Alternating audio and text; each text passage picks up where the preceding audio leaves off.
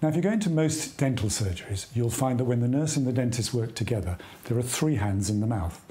Clues in the title, guys. Four-handed dentistry. Sal. Okay, so when we're doing this technique, it involves the nurse using her second hand to retract as well as aspirate. And aspirating is a really hard job for nurses because generally dentists are in the way. So they do tend to use their armrests, use the chair, use whatever they can to anchor themselves and balance themselves so that they don't uh, fall over. So what we do with our aspirating is the nurse goes into the mouth first. I use my aspirator tip or my three-in-one syringe, uh, which I do have in my surgery, so I use to retract the soft tissues. This then helps Martyn because he doesn't have to think about retracting and using his mirror for retraction. He can use it for vision. It also means that I can see a lot better and it'll help the patient because I can aspirate much more efficiently. For the purposes of this video, we can't do everything 100% cross-infection control. So Sally and I are not going to be wearing masks so that we can talk to you. We won't be using our dental light because obviously that's going to interfere with the filming. Before any procedure, I like to set myself up in the correct posture so that I can try and maintain it throughout the procedure. Then we have to get our nurses to set themselves up and then set the patient up. So Okay, for nurses, they need to be aware that they need to be a lot closer to the patient than they're probably sitting already. It means that the hip really should be in line with the patient's shoulder and we need to be high enough up, which is sometimes quite difficult with nurses' dental stools that may not go high enough and uh, that's why they tend to end up standing up. But if you can put your stool at the highest height and it'll give you a good view into the mouth and as close as possible. Now you can either work with your legs intertwined with the dentist that you're working with if the, the back of the chair permits if not, you can just run your legs parallel to the dentist, but just try and maintain that posture where your elbows and your hips and everything is facing in the same direction. The one thing we try and get dentists not to do is to sit at 12 o'clock like they did at dental school, because then I'm pushing Sally away from the mouth and she can't be as helpful as she could to me. Uh, and also, I'm going to have my foot control here on the right hand side. And often the dental chair is very low. To do all of this four-handed dentistry correctly, we have to raise the dental chair, move our foot control over to the left-hand side if you're right-handed dentist, and then sit close together so that we can both work in the mouth completely together. When we're doing a procedure like a cavity or a crown prep, most dentists will hold the mirror in the middle. That is just the natural way we pick the mirrors up. But actually, if I do that, Sally can't see you because all she sees is the back of my hand. So two things I want you to consider. One, hold the mirror right at the end, very delicately. You're not using your mirror for retraction, you're using it for looking into for upper teeth. The other thing I want you to notice is that I'm using a very small mirror head. The small mirror head is number two. Most dentists are using number four. The reason I'm doing that is that a number four mirror head, if it goes into the buccal sulcus or the lingual sulcus, so that you're trying to look at through the mirror for indirect vision for upper teeth, then it's too big. It just won't fit. It'll fit in these models because they're nice big, big heads, but most patients don't have big mouths. So I want you to consider using a number two mirror head.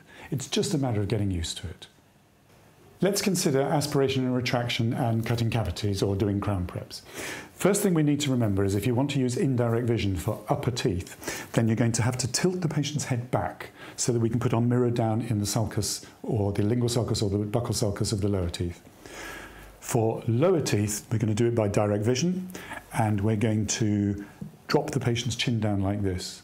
The other thing to remember is if we're in the upper tooth, I'm going to work from about a half past 11 position on the clock face.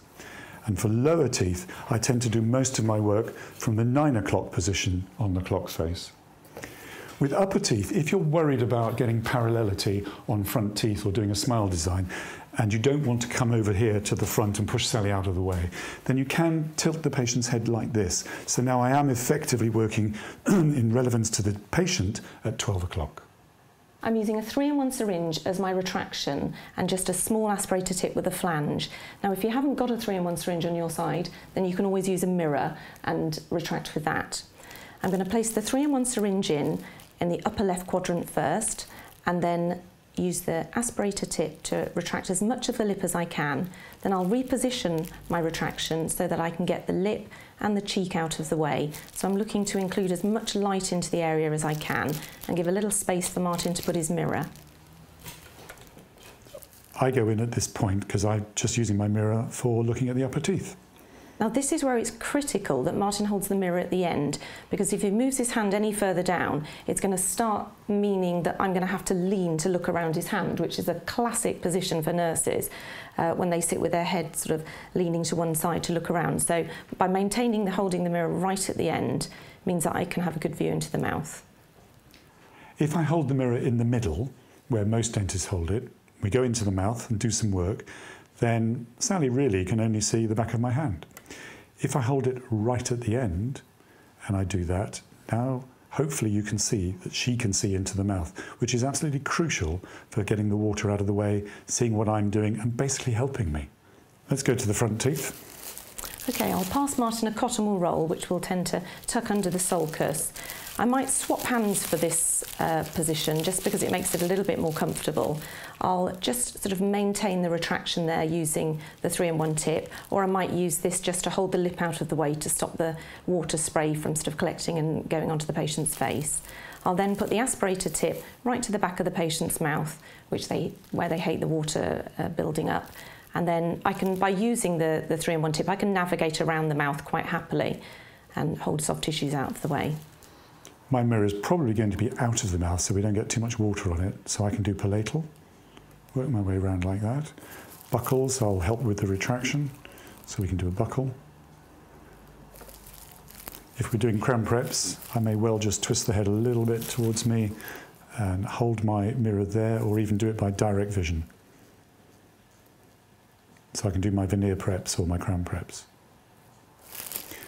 And for the upper right. Thank you.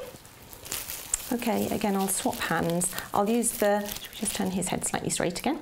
I'll use the aspirator tip towards the back of the mouth again, and then I'm going to use my retraction to actually retract the lower lip because you tend to get quite a shadow into the mouth, and I know Martyn will want to place his mirror, so I'm going to move the lip out of the way and just hold that safely there.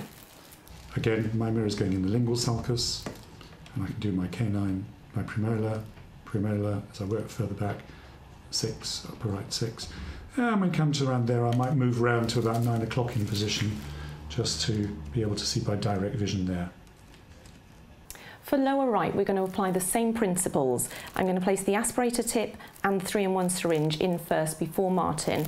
So I'll retract the lip, place the aspirator tip in, and I'm going to use this to depress the tongue and retract the tongue. Now, if I feel that the tongue is uh, a little bit difficult to control, I may then use a mirror and then Martyn will do the retraction on this side. So it depends on the patient really, but obviously this patient is fine. So I'll retract the lip and use my aspirator tip on the lingual aspect.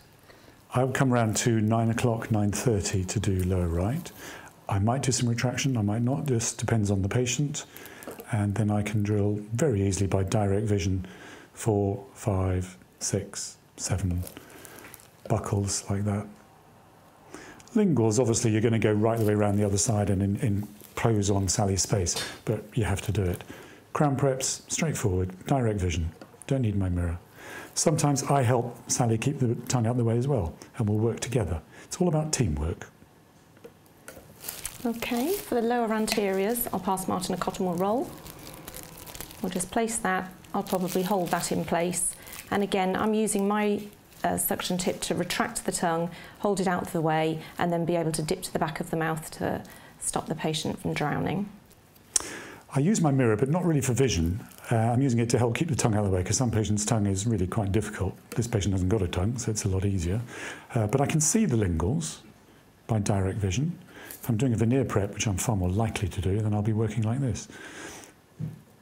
Sally's just chasing the water, keeping the lip out of the way for me, so I can just concentrate with my loupes on the teeth. So this is where it's absolutely critical that the nurse can see exactly what she's doing and into the mouth because if she's sitting further back, she's not aware of what's going on in the mouth. She doesn't know if the patient's filling up with water or if there's bits of debris that are flicking around the mouth. So this is where it is critical that the nurse is sitting close enough so she can see exactly in the mouth.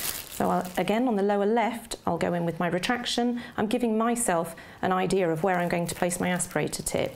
I'll place my aspirator tip in as far back as I can get it, and then again use this to retract the lip out of the way. Now, most dentists will retract the tongue like that. And this is not an easy thing to do because sometimes it's so awkward and it just slips over the top. Why not use four, four fingers on the handle, to press the tongue, almost hit the lingual wall of the tooth you're working on, and then you work. And I promise you, lower left becomes absolutely steady easy to work with. Don't have a problem at all. Direct vision, working at nine o'clock, depressing the tongue. Doing upper teeth, I'll have the patient's head tilted back. I'll work usually if I'm doing indirect vision, I will do it from the 11 o'clock, 11.30 position. And for lower teeth, drop the patient's head down. I move round to nine o'clock, do my retraction, and sit at nine o'clock to do lower teeth all the way around the mouth, apart from lower anteriors where I might be a little bit further back like this. But the important thing to remember is to move. Either move the patient or move yourself so that you can see properly. For upper teeth, dentists often try and do things by direct vision because it's easier. But unfortunately, this is what happens. You'll recognize this. I'll bend over because I want to see things. I'll retract because I feel I have to. And I'll bend over like this. And then for Sal to see anything, she has to bend over as well. The classic dental position for upper left. What are the benefits of this aspiration and retraction technique? Well, for the dentist, I can see what I'm doing. I don't have to worry about retraction. It's wonderful. I can just concentrate, especially with my 4.5 loupes, on the tooth that I'm working on.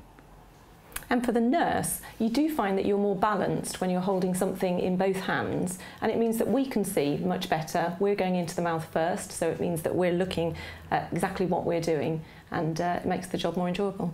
Patient? They're much happier, they're not drowning, and uh, they feel they're being looked after. So if you'd like to contact us to learn more about the courses that we run, please look on our website at dynamicdentistry.co.uk contact us on info at dynamicdentistry.co.uk. We can also actually come to your practice and train the whole practice in how to do these techniques.